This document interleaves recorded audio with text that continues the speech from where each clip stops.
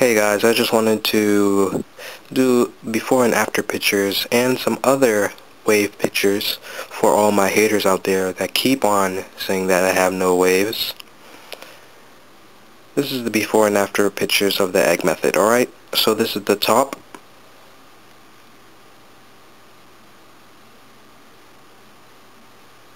Left side.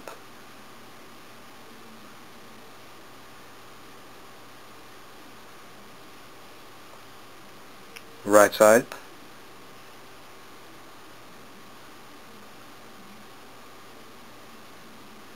and back and now I'll just display some other pictures for all my haters out there thank you thank you thank you thank you thank you thank you thank you thank you thank you thank you thank you